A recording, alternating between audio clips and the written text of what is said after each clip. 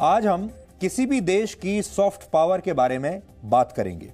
और इस soft power को समझने के लिए आपको सबसे पहले दो तस्वीरें देखनी चाहिए। एक तस्वीर कठिन परिश्रम करके देश के 135 करोड़ लोगों के लिए अन्न उगाने वाले किसानों की है।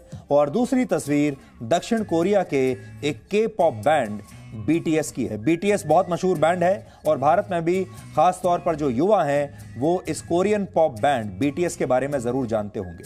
किसान, भारत की सॉफ्ट पावर है और के पॉप दक्षिण कोरिया की सॉफ्ट पावर है। नए कृषि कानूनों में बदलाव के लिए किसान सड़क पर हैं, जबकि दक्षिण कोरिया ने अपनी सॉफ्ट पावर यानी कोरियन पॉप को बचाने के लिए बहत्तर वर्ष पुराने एक कानून में बदलाव कर दिया है। दक्षिण कोरिया के संविधान के मुताबिक वहाँ के 19 से 28 वर्ष के पुरुषों के लिए 18 महीने तक देश की सेना में अपनी सेवाएँ देना अनिवार्य है, कोई भी व्यक्ति। लेकिन दक्षिण कोरिया के सबसे मशहूर के पॉप बैंड बीटीएस के एक सदस्य की उम्र इसी महीने 28 वर्ष होने वाली है। बीटीएस को इसका नुकसान न उठाना पड़े, इसलिए दक्षिण कोरिया की सरकार ने अपने बहत्तर साल पुराने कानून में बदलाव कर दिया है। दक्षिण कोरिया की सरकार ने अपने देश के के पॉप स्टार्स को यह रियायत दी है कि वो अनिवार्य मिलिट्री सर्विस को 30 वर्ष की उम्र तक स्थगित कर सकते हैं। यानी दो साल का समय और दे दिया है। पहले 28 साल की जो मियाद थी, वो थी, अब उसे 30 साल कर दिया है। यानी दक्षिण कोरिया अपनी सॉफ्ट पावर का सम्मान करना जानता है, जबकि दूसरी तरफ़ भारत के 86 प्रतिशत किसान आज भी गरीबी की हालत में जी रहे हैं और उन्हें चाहकर भी न्याय मिल नहीं पाता। लेकिन इन दोनों खबरों से एक और निष्कर्ष भी निकलता है, और वो ये कि देश कोई भी हो, कानून सबसे ऊपर होता है और कानून को ही सबसे ऊपर होना चाहिए। दक्षिण कोरिया के के पॉप स्टार्स को दो साल की रियायत दी गई है, सिर्फ़ दो साल की। लेकिन यहाँ पर कानून को समाप्त नहीं किया गया, उन्हें कानून से ऊपर नहीं किया गया। तीस वर्ष की उम्र के बाद इन के पॉप स्टार्स को भी बाकी लोगों की तरह सेना में अपनी सेवाएँ देनी ही पड़ेंगी। ये बात किसानों समेत हमारे देश के सभी लोगों को समझनी चाहिए और सरकारों को भी समझनी चाहिए कि कानून का मतलब होता है कानून। कानून कानून रहता है और कानून सबके ऊपर होता है और देश का हर नागरिक किसी ना किसी रूप में कानूनों से बंधा होता है। हालाँकि हम लोकतंत्र हैं, किसी भी बात का विरोध करना, किसी कानून का विरोध करना, किसी भी नागरिक का पूरा अधिकार है। दक्षिण कोरिया ने बीटीएस के लिए बहत्तर साल पुराने कानून में बदलाव कैसे और क्यों किया, यह हम आगे चलकर आपको विस्तार से बताएँगे। हमारे जो भी दर्शक के पॉप के फैंस हैं, यानी कोरियन पॉप के फैंस हैं, उन्हें थोड़ा सा इंतज़ार करना होगा, क्योंकि हम उन्हें बीटीएस पर आज एक दिलचस्प विश्लेषण दिखाने वाले हैं, क्योंकि इस विश्लेषण से आप बहुत कुछ सीख सकते हैं भारत के संदर्भ में भी। लेकिन उससे पहले आप ये जान लीजिए कि किसान आंदोलन को लेकर आज का और इस समय का ताज़ा अपडेट क्या है, क्योंकि पूरे भारत की नज़र अब इसी किसान आंदोलन पर टिकी हुई है। आज देश की राजधानी दिल्ली में किसानों के आंदोलन का ये सातवां दिन था। कल सरकार के साथ किसानों की बातचीत का कोई नतीजा नहीं निकला था, और अब किसानों ने ये मांग की है कि नए कृषि कानूनों को वापस लेने के लिए संसद का विशेष सत्र बुलाया जाए।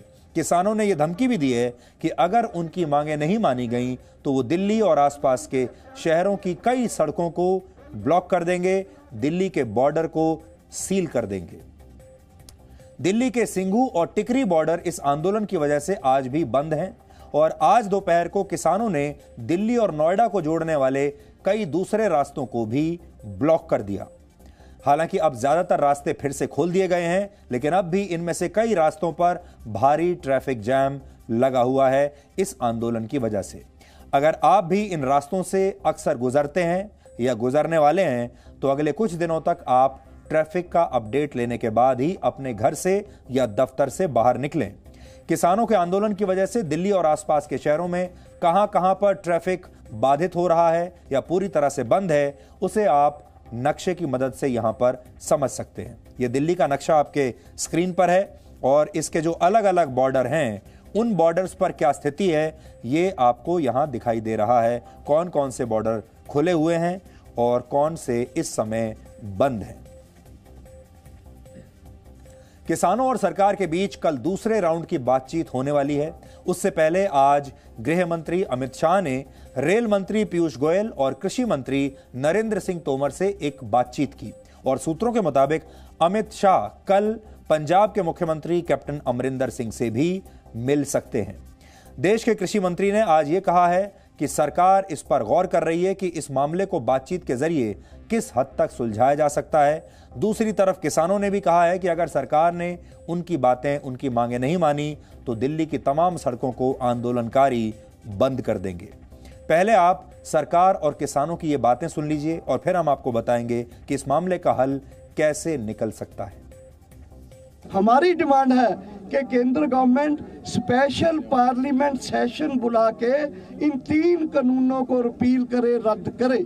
पूरे देश में किसान रैली निकालेंगे, धरना देंगे, पूरा मीटिंग करेंगे और पुतला दहन करेंगे मोदी गवर्नमेंट का और कॉरपोरेट हाउसेज का।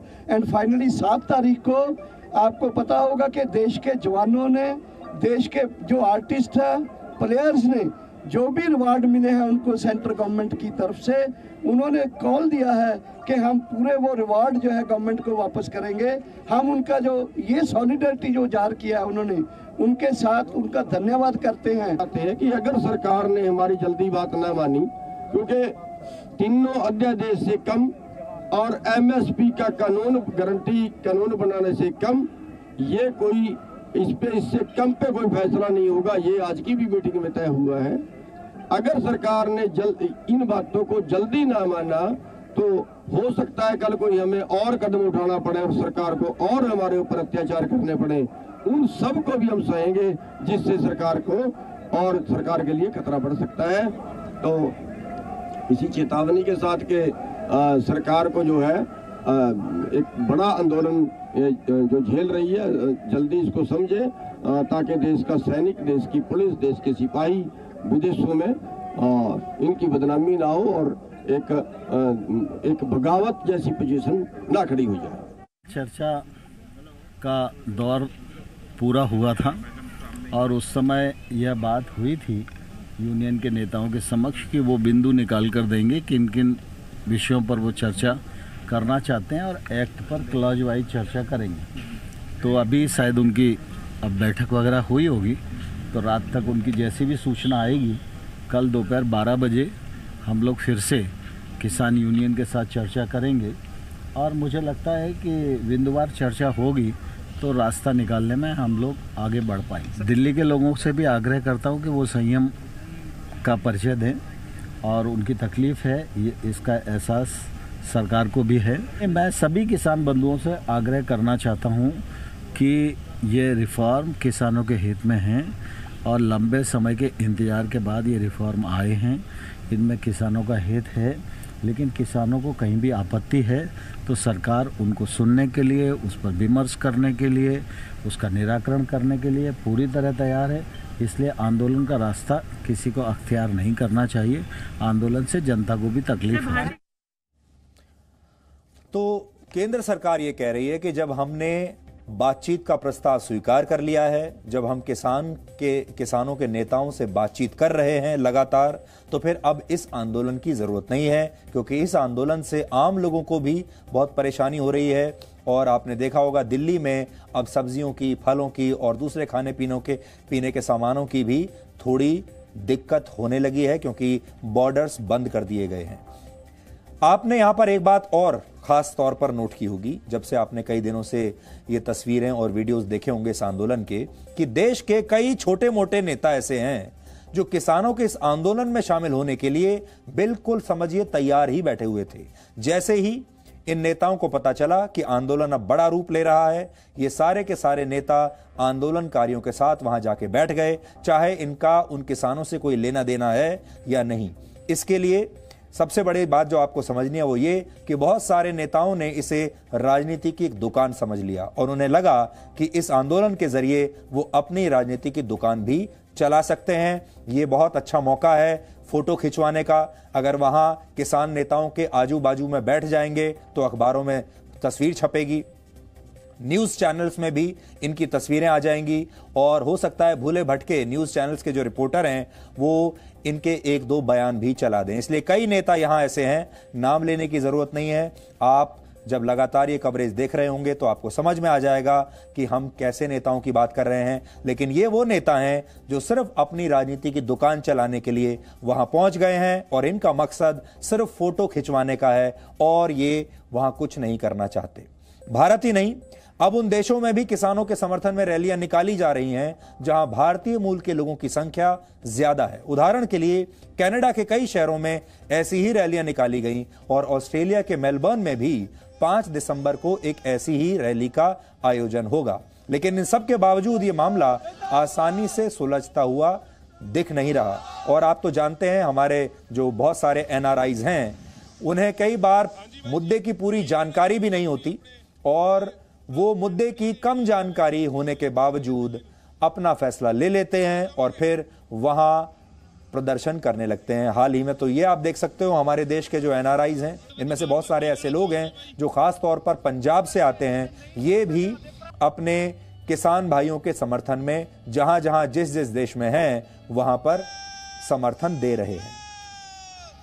सरकार ने कल किसानों को यह सुझाव दिया था कि सरकार इस विवाद को सुलझाने के लिए एक कमेटी बनाएगी, एक्सपर्ट कमेटी, जिसमें अधिकतम पाँच प्रतिनिधि किसानों की तरफ़ से होने चाहिए। इसके अलावा इसमें सरकार के प्रतिनिधि भी होंगे और इसमें कुछ कृषि विशेषज्ञों को भी रखा जाएगा। लेकिन किसान इस कमेटी की मांग को खारिज कर चुके हैं। ऐसा इसलिए भी है क्योंकि कल करीब 32 अलग अलग किसान संगठनों के नेता सरकार से बातचीत करने के लिए पहुँचे थे। ये उसी बातचीत की तस्वीरें आप देख रहे हैं। ये बातचीत के लिए सरकार ने विज्ञान भवन में इन्हें बुलाया था और लगभग 35 संगठनों 32 से 35 संगठनों के लोग वहाँ पर गए थे।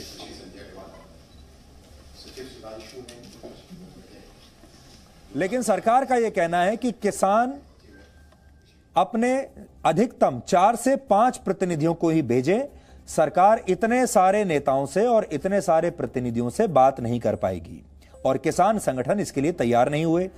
अब आगे की जो राह है वो इसलिए मुश्किल हो जाएगी किसानों के लिए क्योंकि किसान के जो नेता हैं, वो पाँच लोगों के नाम पर राज़ी ही नहीं हो पाएँगे।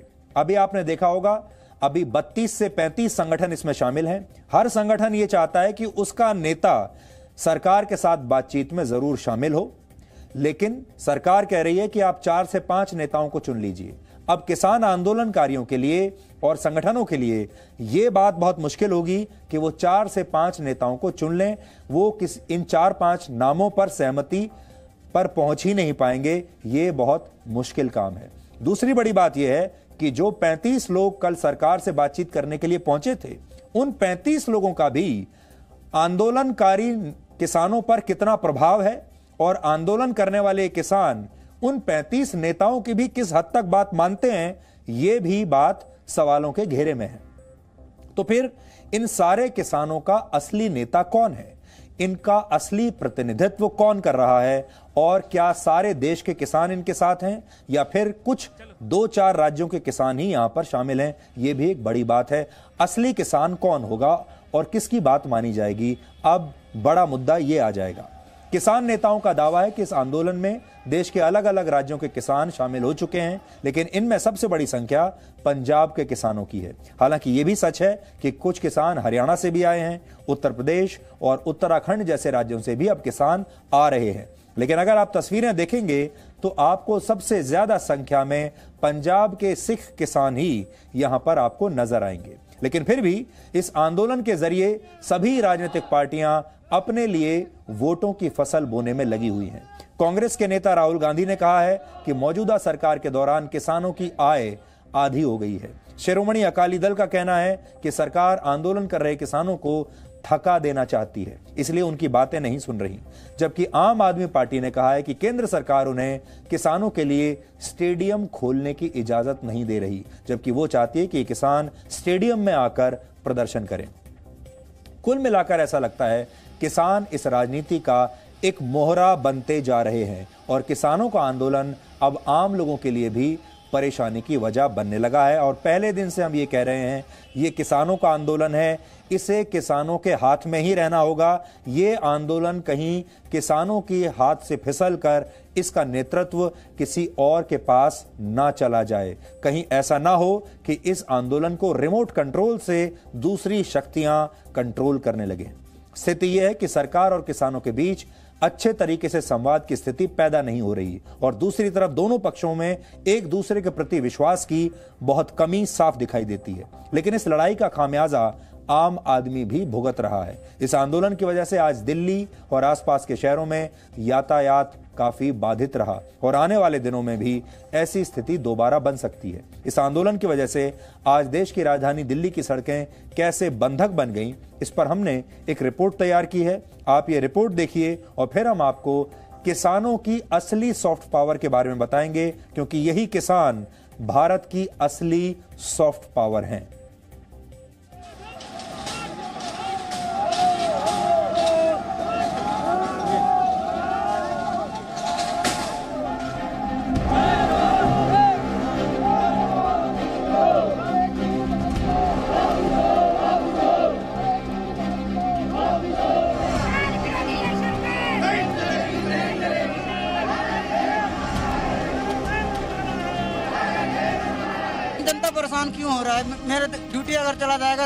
छह सौ रुपए का नुकसान हो जाएगा। कौन भरेगा? अंदर के रास्ते पूरे जाम कर रखे हैं उस वजह से बहुत प्रॉब्लम हो रही है ऑफ़िस जाने में। समझ में नहीं आ रहा कहाँ से जाएँ? किसान आंदोलन चल रहा है।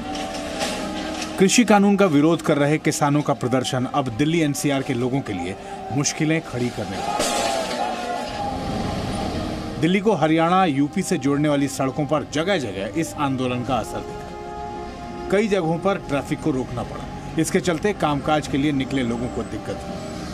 यहाँ कल रात भी हमें परेशानी हुई थी और आज भी परेशानी हुई है सारे रोड जहाँ। पूछते हुए जाएँगे रास्ता हमें पता नहीं हमें तो ये वाला रास्ता रूट डाइवर्ट कर दिए गए हैं बिकॉज़ यहाँ से एक अशोक नगर से एक रास्ता जाता है वो भी पूरा ब्लॉक कर रखा है। एक हाईवे ऐसा रूट था जिससे हम जल्दी ऑफ़िस पहुँच सकते थे। अब अब वापस घर ही जाना पड़ेगा और कोई ऑप्शन नहीं है। इसमें भी पूरा दिन पेट्रोल खर्च करूँगा अगर कट गया पैसा तो वो भी नहीं हो जाएगा। काम काम मतलब जाना काम पे था? आपको डिलीवरी कहाँ करनी थी? सर अभी तो नोएडा करना था ये कर दिया। अब दिल्ली में सफदरजंग में जाना एक लाख ये नोएडा से दिल्ली को जोड़ने वाला डीएनडी फ्लाईओवर है। यहाँ पर सुबह से लंबा जाम था। इस ट्रैफ़िक जाम में एक एंबुलेंस भी फंस गई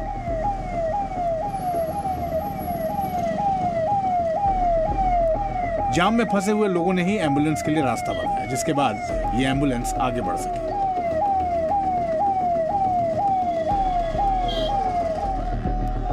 दिल्ली गाजियाबाद बॉर्डर पर तो किसान बैरिकेडिंग पर चढ़ गए। किसानों ने बैरिकेडिंग को हटाने का भी प्रयास किया। यहाँ प्रदर्शन कर रहे किसानों का कहना है कि जब तक हमारी यूनियन कहेगी, हम यहीं पर डटे रहेंगे। जब तक किसानों का आंदोलन रहेगा, हमारे टकैत जी जब तक ये कहेंगे कि ये जो काम करना है, वो हम लोग करेंगे। और बॉर्डर सील है, हमारे किसान कार्यकर्ता सब पीछे आ रहे हैं। उत्तर प्रदेश पूरा यहीं आ पहुँच रहा है। मुश्किलें तो बढ़ेंगी जी जब किसान आके यहाँ बढ़ जाएगा हम नहीं बढ़ा रहे कुल इतनी संख्या हो जाएगी कि हम रहने के लिए हमारे किसानों के लिए जगह नहीं कब तक चलेगा ये आंदोलन? ये तो जब तक हमारा समाधान नहीं होगा तब चलेगा। किसान आंदोलन का असर दिल्ली की मंडियों पर भी पड़ रहा है। राजधानी की सबसे बड़ी आजादपुर मंडी की सप्लाई और डिमांड पर आंदोलन का सबसे अधिक असर पड़ा है। प्रोटेस्ट के कारण ये फ़र्क पड़ा है कि यहाँ से जो कस्टमर हैं वो माल परचेज करने में डर रहे हैं कि रास्ते में लूटपाट ना हो जाए, उनकी गाड़ियाँ इधर उधर तोड़ फोड़ ना हो जाए। इस चक्कर में कस्टमर इधर कम आ रहा है। और रही बात इसकी कि रेट वगैरह में हमारा सेल सेल का जो जितना भी है, वो कम होता जा रहा है। और जो पीछे से महाराष्ट्र से जो हमारे अनार आ रहे हैं, वो बहुत तेज़ है रेट तो वो चीज़ यहाँ पे सेल ना होने की वजह से उनको महाराष्ट्र के किसानों को भी रेट नहीं मिल पा रहे, जिसकी वजह से वो भी काफ़ी लॉस में जा रहे हैं। सबसे ज़्यादा फ़र्क पड़ रहा है किसानों के ऊपर और मंडी के आड़तियों के ऊपर। किसानों के ऊपर ऐसे पड़ रहा है कि वो लोगों को मार्केट का रेट नहीं मिल पा रहा। उसकी वजह यही है कि नीचे से यहाँ से कस्टमर ही कम आ रहा है यहाँ पे मार्केट के अंदर। हमारे को बहुत नुकसान है इसके अंदर हमारी पेमेंट्स पे भी फ़र्क पड़ रहा है हमारी कलेक्शन नहीं आ रही पेमेंट्स नहीं आ रही कहीं से भी। कस्टमर डर के मारे आ नहीं रहा। नुकसान जैसे कि आपको चाहिए पचास पेटी तो दस पेटी मिल रही है तो चालीस पेटी का नुकसान है। हमारी दिहाड़ी बनती है कि आठ सौ से नौ सौ अब तीन सौ चार सौ बन रही है तो नुकसान ही नुकसान है। किसान संगठनों और सरकार के बीच कल महत्वपूर्ण बैठक हुई। बैठक पर एनसीआर के लोगों की सबसे अधिक नज़र रहेगी। यदि किसान आंदोलन लंबा चलता है तो यहाँ के लोगों की रोज़मर्रा की ज़िंदगी पर इसका असर बढ़ सकता है। Bureau report, Zee media.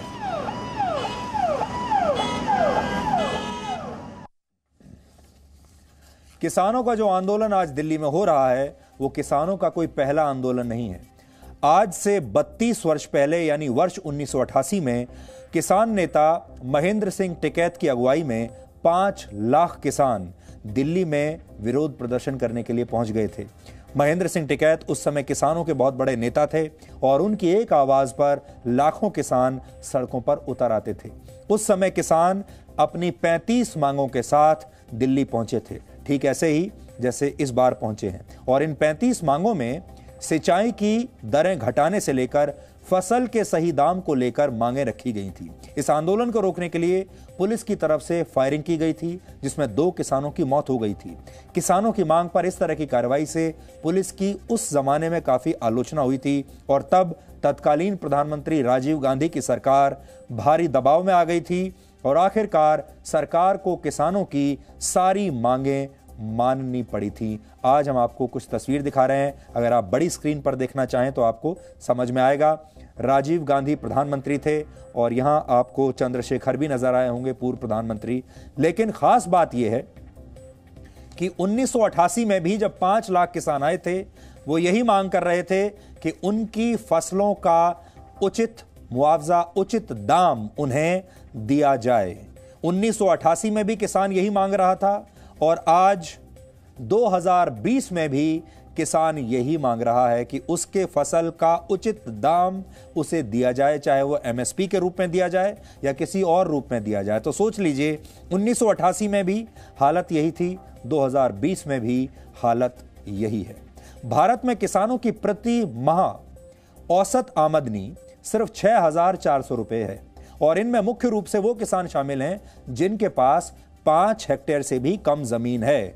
जी न्यूज़ पर हम इन्हीं किसानों के हमेशा साथ देते हैं, इनका समर्थन करते हैं, जिनके पास पाँच हेक्टेयर से भी कम ज़मीन है, जो लगभग साढ़े छह हज़ार रुपया महीना कमा पाते हैं बड़ी मुश्किल से। हम इन किसानों के साथ हैं। नए कृषि कानून की मदद से सरकार इन किसानों की आय को दुगना करना चाहती है। अगर किसान खुद भी चाहें तो अपनी इस आय को कई गुना बढ़ा सकते हैं। फ़िलहाल प्रति हेक्टेयर उत्पादन में उत्पादन के मामले में भारत की स्थिति ज़्यादातर देशों के मुकाबले काफ़ी खराब है। आज कुछ उदाहरण मैं आपको देना चाहता हूँ, जिससे आपको यह पता चलेगा कि दुनिया भर के किसानों की अगर प्रतियोगिता हो कंपटीशन हो तो भारत के किसान उसमें कहाँ ठहरते हैं? अमेरिका में अनाज का प्रति हेक्टेयर उत्पादन आठ हज़ार दो सौ इक्यासी किलोग्राम है एक हेक्टेयर में। ब्रिटेन में यह भारत के मुकाबले दुगना है। फ्रांस में प्रति हेक्टेयर अनाज का उत्पादन 6080 किलोग्राम है, जबकि ब्राज़ील में 4810 किलोग्राम प्रति हेक्टेयर अनाज उगाया जाता है। इसके विपरीत, कृषि प्रधान देश होने के बावजूद, हमारे देश में प्रति हेक्टेयर उत्पाद सिर्फ़ तीन हज़ार किलोग्राम है, यानी भारत इन तमाम बड़े देशों के मुकाबले आज भी प्रति हेक्टेयर उत्पादन में बहुत नीचे है। यानी हमारा किसान एक हेक्टेयर में बाकी देशों के मुकाबले काफ़ी कम फ़सल पैदा कर पाता है। उसके बहुत सारे कारण हो सकते हैं। आप में से बहुत सारे लोग ये भी कहेंगे कि हम अमेरिका, ब्रिटेन, फ्रांस या ब्राज़ील के किसानों के साथ हमारे किसानों की तुलना कर भी कैसे सकते हैं। बात सही है, शायद नहीं करनी चाहिए, ये बेमानी होगी, क्योंकि हमारे किसानों के पास ना तो उतने संसाधन हैं, ना उतनी टेक्नोलॉजी है और कृषि प्रधान देश होने के बावजूद हमारे देश का जो किसान है, काफ़ी पीछे है इन किसानों के मुकाबले। लेकिन हम ये ज़रूर चाहेंगे कि हमारी नज़र, हमारे देश के किसानों की नज़र अमेरिका और ब्रिटेन के किसानों पर रहे और वो ये सोचें कि एक दिन उन्हें भी वहीं पहुँचना है जहाँ अमेरिका, ब्रिटेन और फ्रांस के किसान हैं। लेकिन ऐसा नहीं है कि किसान अपनी हालत सुधार नहीं सकते। इसके लिए किसानों को अपने खुद के प्रदर्शन में सुधार लाना होगा। कंपटीशन में आना होगा, प्रतियोगिता में आना होगा और किसानों को सहायता की बजाय प्रतियोगिता को अपनाना होगा। सहायता के आश्रित नहीं रहना होगा, प्रतियोगिता पर आधारित होना होगा। इसे आप दूध के उत्पादन के उदाहरण से समझिए। भारत में दूध की कोई एमएसपी नहीं है। किसान कह रहे हैं कि उनके एमएसपी उन्हें मिलनी चाहिए। दूध का उदाहरण लीजिए। दूध पर कोई एमएसपी सरकार नहीं देती। दूध के दाम सिर्फ़ इस बात से तय होते हैं कि उसमें फैट की मात्रा कितनी है और उसकी डिमांड कितनी है। इसके बावजूद जो किसान दूध उत्पादन करते हैं, वो काफ़ी अच्छा मुनाफा कमाते हैं। दूध उत्पादन के मामले में भारत पूरी दुनिया में पहले नंबर पर है। बाज़ार में दूध से बने प्रोडक्ट्स की भी बहुत मांग है। इसलिए बड़ी बड़ी अंतर्राष्ट्रीय कंपनियाँ भी किसानों से दूध खरीदती हैं।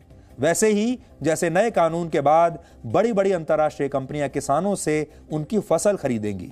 ये सब काम पहले से हो रहा है। ये कंपनियाँ दूध खरीदती हैं, दूध से बने उत्पाद खरीदती हैं। किसानों से और किसान पैसा भी कमाते हैं। इससे किसानों की काफ़ी कमाई होती है। हम ये नहीं कह रहे कि सभी डेयरी फार्मर्स लाखों में कमा रहे हैं। ये हमारा कहने का मकसद नहीं है। हो सकता है ना भी कमा रहे होंगे। लेकिन बहुत सारे किसान ऐसे हैं जो दूध की बिक्री से भी एक से दस लाख रुपए महीने तक कमा लेते हैं। इसी तरह हमारे देश के कई हिस्सों में पोली हाउस फ़ार्मिंग के ज़रिए भी किसान अपनी आमदनी को बढ़ा रहे हैं। इतना ही नहीं, किसानों से जुड़े ऐसे कई स्टार्टअप्स शुरू हो गए हैं, जिनकी मार्केट वैल्यू अब करोड़ों में है, कई सौ करोड़ पहुँच चुकी है। एक और उदाहरण आपको देते हैं। आईआईटी के एक पूर्व छात्र ने एक स्टार्टअप शुरू किया। इस स्टार्टअप में उन्होंने जब काम शुरू किया तो हो सकता है थोड़े कम दाम से शुरू किया होगा। आज इस स्टार्टअप की मार्केट वैल्यू डेढ़ सौ करोड़ रुपए से ज़्यादा हो चुकी है और यह कृषि का स्टार्टअप है। यह जो कंपनी है, स्टार्टअप कंपनी, ये किसानों को और खरीदारों को आपस में जोड़ने का काम करती है और इसमें कोई बिचौलिया नहीं होता। तो सोचिए, जो कंपनियाँ ये काम कर रही हैं, किसानों को और बिचौलियों को बीच में बिचौलियों को बीच में से हटाकर किसानों को और खरीदारों को एक साथ ला रहे हैं, उस कंपनी की वैल्यूएशन डेढ़ सौ करोड़ हो गई। लेकिन किसानों को इसमें कुछ नहीं मिल रहा। इसी तरह एक और कंपनी है, ये कंपनी ऑनलाइन गाय और दूसरे मवेशी बेचने का काम करती है और इस कंपनी की मार्केट वैल्यू भी आज 175 करोड़ रुपए से ज़्यादा है।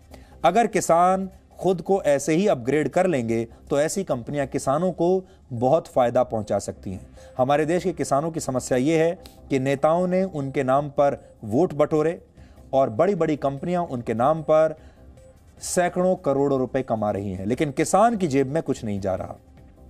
इसके अलावा किसान अपनी फ़सलों को डाइवर्सिफाई भी कर सकते हैं। इसका अर्थ है, ऐसी अलग अलग फ़सलों को उगाना या उन चीज़ों की खेती करना जिनकी मांग स्थानीय बाजारों में ज़्यादा होती है। उदाहरण के लिए मधुमक्खी पालन या डेयरी उत्पादन। लेकिन देश के ज़्यादातर छोटे किसान ऐसा अभी तक कर नहीं पाए और सरकारों ने भी किसानों को ऐसा करने के लिए कभी दिल से प्रोत्साहित ही नहीं किया। इसका नतीजा ये हुआ कि पंजाब जैसे राज्यों में ज़्यादातर किसान सिर्फ़ धान और गेहूँ की खेती पर ही निर्भर हो गए। लेकिन धीरे धीरे अब पंजाब में उगाए जाने वाले गेहूँ की गुणवत्ता कम होने लगी है। पंजाब में पानी की भी भयंकर कमी होने लगी है और किसानों के लिए खेती करना अब हर दिन मुश्किल होता जा रहा है। ऐसे में किसान चाहें तो नए तौर तरीके अपनाकर अपनी स्थिति को सुधार सकते हैं, लेकिन इसके लिए भी सरकारों को आगे तो आना ही पड़ेगा और किसानों को सारी तकनीक सस्ते दामों पर उपलब्ध करानी होगी, जो उन्हें आमदनी के नए और बेहतर तरीके दे सकती है।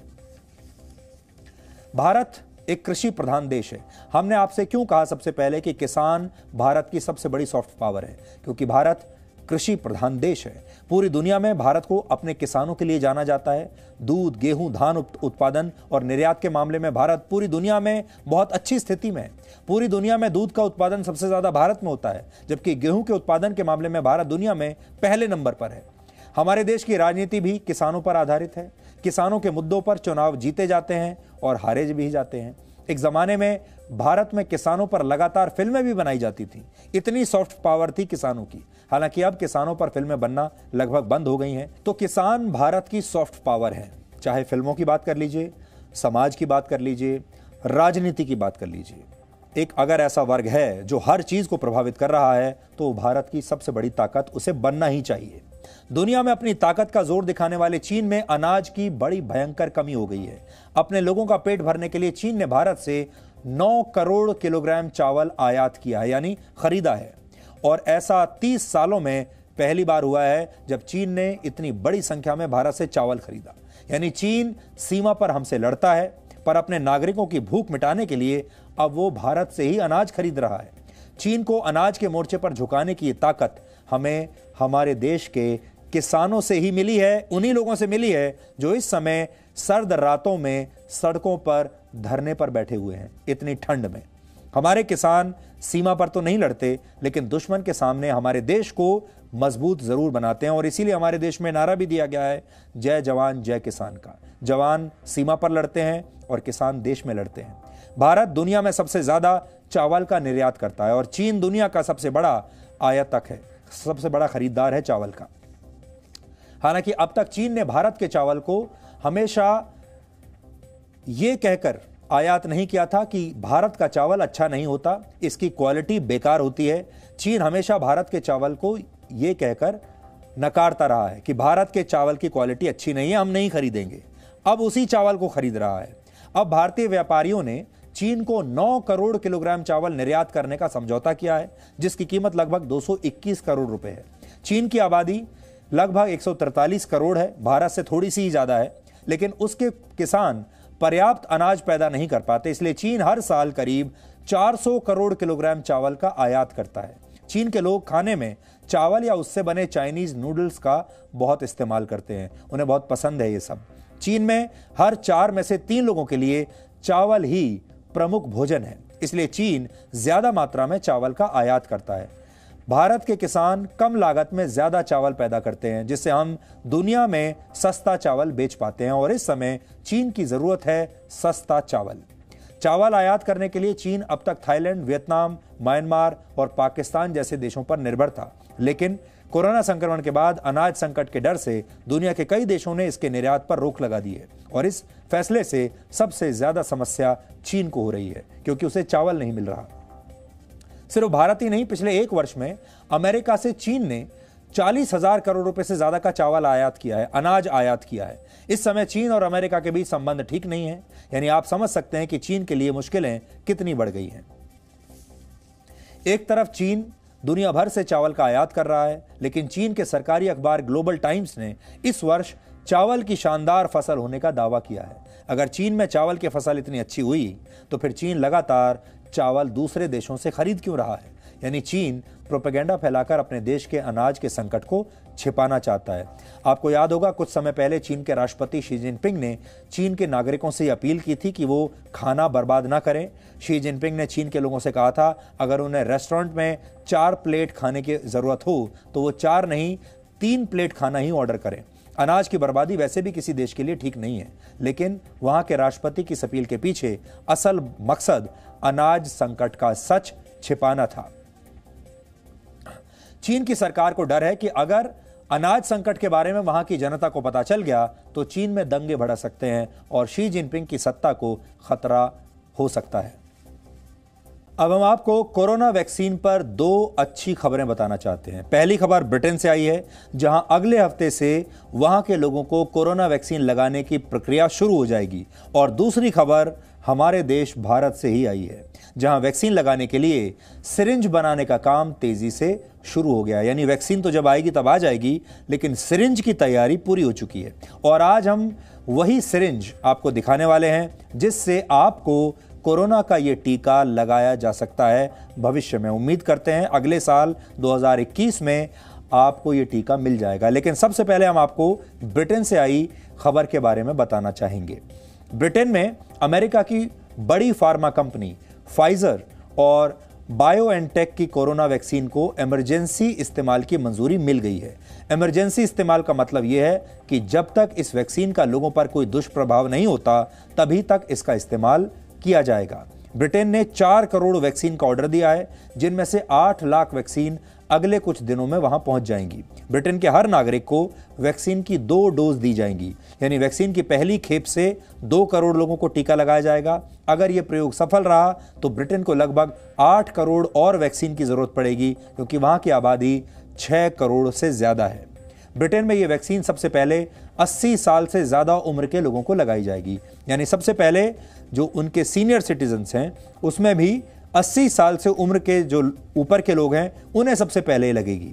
स्वास्थ्य और सामाजिक सेवाओं से जुड़े लोगों को ये वैक्सीन पहले चरण में लगाई जा सकती है। उसके बाद जिन लोगों की उम्र 50 और 80 साल के बीच है और जिन्हें पहले से गंभीर बीमारियाँ हैं, उन्हें इस वैक्सीन के लिए दूसरे चरण का इंतज़ार करना पड़ेगा। पहले चरण में अगर सब कुछ ठीक ठाक रहा तो ब्रिटेन की सरकार दूसरे चरण की तारीख भी इसके बाद तय करेगी। कहा जा रहा है कि यह दुनिया की सबसे तेज़ी से विकसित की गई वैक्सीन है, जिस बनाने में फाइजर को 10 महीने का समय लगा, सिर्फ़ 10 महीने। किसी भी बड़ी बीमारी की वैक्सीन के रिसर्च उसके ट्रायल और उसे लोगों तक पहुँचाने में कम से कम 10 साल का समय तो लगता ही है। लेकिन कोरोना की वैक्सीन बनाने में दुनिया के वैज्ञानिकों को एक वर्ष में ही सफलता मिल गई। ये भी अपने आप में एक वर्ल्ड रिकॉर्ड है। उदाहरण के लिए पोलियो की वैक्सीन तैयार होने में सैतालीस साल लगे थे। चिकन पॉक्स की वैक्सीन 42 साल में और इबोला की वैक्सीन 43 साल में बनी थी। हेपेटाइटिस बी की वैक्सीन 13 साल में बनी थी। हालाँकि एचआईवी एड्स की वैक्सीन उनतालीस साल बाद भी नहीं बन पाई है। एचआईवी एड्स के संक्रमण का पहला मामला 1981 में आया था और आज भी उसकी कोई दवाई नहीं बनी है। हालाँकि फाइजर का दावा है कि उसकी कोरोना वैक्सीन का एफिकेसी रेट पिचानवे प्रतिशत है। ये रेट ट्रायल के अंतिम नतीजों पर आधारित है, लेकिन ये वैक्सीन कितनी इफ़ेक्टिव है, यानी कितने लोगों को बीमारी से बचाती है, ये तभी पता चलेगा जब बड़े पैमाने पर, यानी हज़ारों लाखों लोगों को ये वैक्सीन लगाई जाएगी। इस, ये जो वैक्सीन है, ये वहाँ पर, आपकी बाजू पर सिरिंज से लगाई जाएगी। यानी जैसे चोट लगने पर टेटनस का इंजेक्शन लगाया जाता है, ठीक उसी तरह से ये वैक्सीन ब्रिटेन में लोगों को लगाई जाएगी। हालाँकि फाइजर की इस वैक्सीन को स्टोर करके रखना एक बहुत बड़ी चुनौती है, क्योंकि ये वैक्सीन माइनस सत्तर डिग्री सेल्सियस के टेम्परेचर पर स्टोर की जा सकती है। इसके लिए खास रेफ्रिजरेटर्स का प्रोडक्शन अब तेज हो गया है, लेकिन अगर भारत जैसे देश में इस वैक्सीन का इस्तेमाल किया जाएगा तो उनके सामने इस वैक्सीन को माइनस सत्तर डिग्री सेल्सियस पर स्टोर करके रखना और लोगों तक पहुंचाना एक बहुत मुश्किल काम होगा, क्योंकि हमारे देश में वैसा इंफ्रास्ट्रक्चर है ही नहीं। फाइजर वैक्सीन की एक डोज की कीमत भारतीय रुपयों में चौदह सौ रुपए के आसपास हो सकती है, यानी ये वैक्सीन महँगी है। हालाँकि ब्रिटेन ने इसके इस्तेमाल की मंजूरी दे दी है, लेकिन पश्चिमी देशों में ब्रिटेन पहला ऐसा देश बन गया है जहाँ कोरोना वैक्सीन को व्यापक इस्तेमाल की मंजूरी मिली है। और संभव है कि अमेरिका में भी जल्द ही इस वैक्सीन का इस्तेमाल शुरू हो जाएगा, क्योंकि अमेरिका पहले से ही फाइजर को इस वैक्सीन की 10 करोड़ डोज का ऑर्डर दे चुका है। इस बीच एक बड़ा अपडेट यह है कि रशिया में भी अगले हफ़्ते से ये टीकाकरण अभियान शुरू हो सकता है। रशिया ने यह जानकारी दी है कि वो स्पुतनिक वी की 20 लाख डोज तैयार कर चुका है। हालाँकि इन खबरों ने विकासशील और गरीब देशों की चिंताओं को बढ़ा दिया है, क्योंकि अलग अलग कंपनियों की वैक्सीन के बाज़ार में आने से अब अमीर देशों के बीच इन्हें खरीदने की होड़ शुरू हो गई है। अमीर देशों के पास पैसा भी है, संसाधन भी हैं और इन वैक्सीन को आसानी से खरीद लेंगे। हो सकता है इस रेस में विकासशील देश और गरीब देशों का नंबर बहुत बाद में आए या हो सकता है आए ही ना। ऐसा हुआ तो दुनिया की कुल आबादी का एक बड़ा हिस्सा कोरोना की वैक्सीन से वंचित भी रह सकता है, क्योंकि ये पूरा जो खेल है, ये है पैसे का खेल। हालाँकि इस मामले में भारत अब भी बेहतर स्थिति में है। भारत की स्वदेशी वैक्सीन, जिसका नाम कोवैक्सीन है, वो ट्रायल के तीसरे चरण में पहुँच गई है। इस वैक्सीन की कीमत सिर्फ़ सौ रुपये हो सकती है और ये दुनिया की सबसे सस्ती कोरोना वैक्सीन हो सकती है। इसके अलावा ऑक्सफोर्ड एस्ट्राजेनेका की कोरोना वैक्सीन भी आखिरी चरण में पहुँच गई है ट्रायल के और इसका उत्पादन पुणे में किया जा रहा है। इस वैक्सीन की कीमत भारतीय रुपयों में दो सौ बाईस रुपए हो सकती है और कीमत के लिहाज से ये वैक्सीन भी भारत के लिए काफ़ी सस्ती है। अहमदाबाद में जाइडस कैडिला नाम की कंपनी भी कोरोना की वैक्सीन विकसित कर रही है और यह भी ट्रायल के दूसरे स्टेज में है।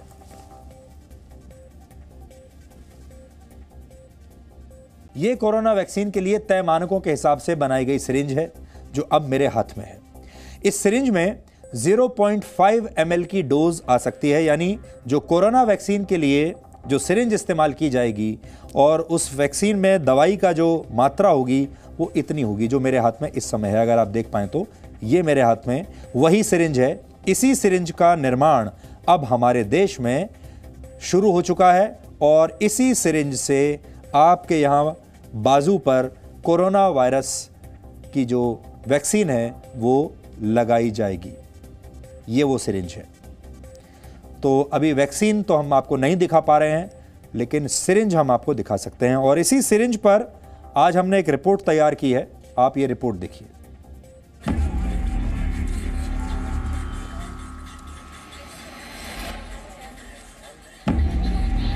कोरोना वायरस के खिलाफ भारत ने अभी तक मजबूती से लड़ाई लड़ी है।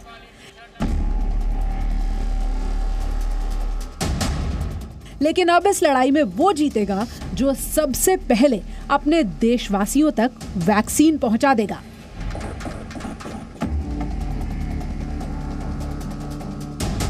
भारत इस दिशा में भी पीछे नहीं है। ये तस्वीरें इस बात का भरोसा दिला रही हैं ये भारत की सबसे बड़ी सीरींज बनाने वाली कंपनी हिंदुस्तान सीरींज का प्लांट है। हरियाणा के फरीदाबाद में बने इस प्लांट में काम किस रफ्तार से चल रहा है, इसका अंदाज़ा आप इस बात से लगा सकते हैं कि यहाँ इस वक्त हर एक घंटे में एक लाख सीरींज बनाई जा रही है। ये एक सीरींज है और इसमें जब कोरोना वायरस से लड़ने वाली वैक्सीन भर दी जाएगी तो ये इंजेक्शन कहलाएगा। वही इंजेक्शन जिसकी आप सबको दरकार है। ये हिंदुस्तान सीरेंजेस का असेंबली पॉइंट है, यानी कि जहाँ फाइनली सीरेंज तैयार हो रही है। इसके चार कंपोनेंट होते हैं तो आप देख रहे होंगे अलग अलग जगहों से अलग अलग हिस्से तैयार होकर आ रहे हैं। कहीं पर नीडल तैयार हो रही है। ये जो नीला हिस्सा आपको नज़र आ रहा है, ये वो हिस्सा है जिसमें सुई लगी हुई है, यानी कि नीडल्स तैयार होकर जा रही हैं।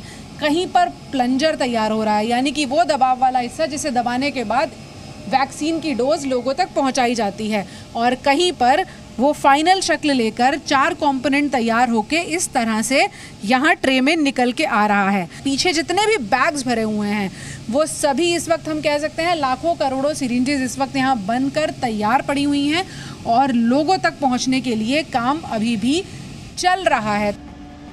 कंपनी को 20 करोड़ सीरींज बनाने का ऑर्डर मिल चुका है, जिनमें से 10 करोड़ बनकर तैयार हैं। हालाँकि भारत की ज़रूरत इससे कहीं ज़्यादा है। कोरोना की वैक्सीन दो बार में लगाई जाएगी। पहली डोज के 28 दिन बाद दूसरी डोज लगेगी। इस लिहाज से फ़िलहाल 90 करोड़ वैक्सीन लगाए जाने का आकलन किया गया है। इतने बड़े पैमाने पर वैक्सीनेशन के लिए सरकार ने ऑटो डिसेबल सीरेंजेस चुनी है, यानी ऐसी सीरेंज जिससे एक बार इंजेक्शन लगाने के बाद ये खुद ही नष्ट हो जाए। भारत में और कई देशों में प्रॉब्लम है सरिंजें रीयूज़ होने की।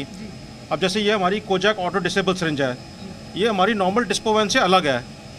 अब जैसे ये सरिंज है इसको पीछे मैं खींचूँगा हवा निकालने के लिए ठीक है? और जब मैंने इसको इंजेक्शन दिया आपने आवाज़ सुनी ये क्लिक की आवाज़ सुनी अब ये प्लंजर लॉक हो गया। अब कोई दोबारा इसको उठाएगा रीयूज़ करने के लिए खींचेगा प्लंजर तो टूट जाएगा। ऐसे ही जो नीडल है ये जो नीडल है ये इसमें लॉक हुई हुई है। कोई कोशिश भी करेगा तो ये नीडल को बाहर नहीं निकाल सकता। वैक्सीन वायल और सीरेंज के मामले में भारत न केवल आत्मनिर्भर है बल्कि इस समय हर कंपनी 100 प्रतिशत क्षमता पर काम करके वैश्विक बाज़ार की जरूरतों के हिसाब से भी तैयारी कर रही है। तो एक सीरींज इस शक्ल में आए, उससे पहले कितनी प्रक्रियाओं से गुजरती है? हम आपको ये दिखाने की कोशिश कर रहे हैं। मार्च और अप्रैल, जिसकी बात की जा रही है कि तेज़ी से अगर सीरींज, अगर लोगों तक वैक्सीन पहुँचती है तो वो मार्च, अप्रैल 2021 में होगा। उसके पीछे का बैकग्राउंड वर्क है ये, और आप यहाँ देख सकते हैं, लगातार पैकिंग जारी है, क्योंकि कंपनी को पहले ही यूनिसेफ और सरकार की तरफ़ से कुछ एक सीरेंजेस के ऑर्डर मिल चुके हैं, और फ़िलहाल उन्हीं को दिसंबर तक पूरा करने का काम चल रहा है। हालाँकि अभी चुनौतियाँ कम नहीं हैं। वैक्सीन की कोल्ड स्टोरेज, वेस्ट डिस्पोजल और सबसे बड़ी बात, इंजेक्शन लगाने के लिए ट्रेंड हेल्थ स्टाफ। इन चुनौतियों को हल करने पर अभी काम चल ही रहा है। लेकिन सबसे पहला और सबसे बड़ा पड़ाव, यानी वैक्सीन और सीरीज़, इन्हें कामयाबी से पार किया जा चुका है। Puja Makkar, Zee media, Faridabad.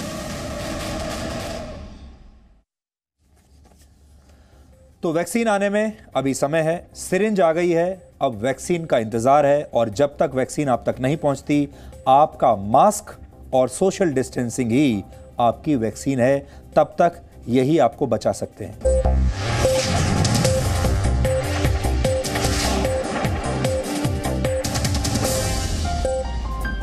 Presenting B News app, available on Google Play and App Store. Download it now.